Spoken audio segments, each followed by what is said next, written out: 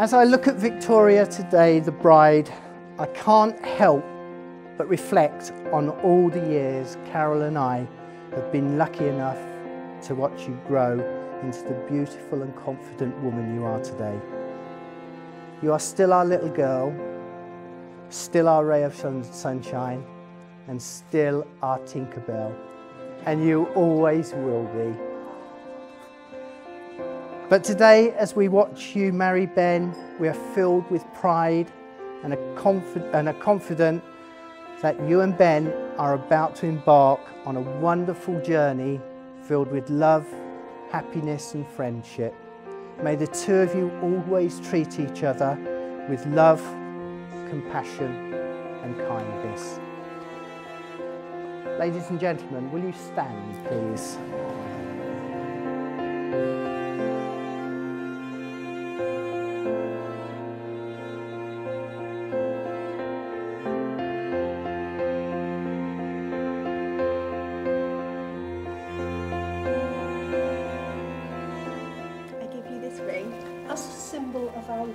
As a symbol of our love.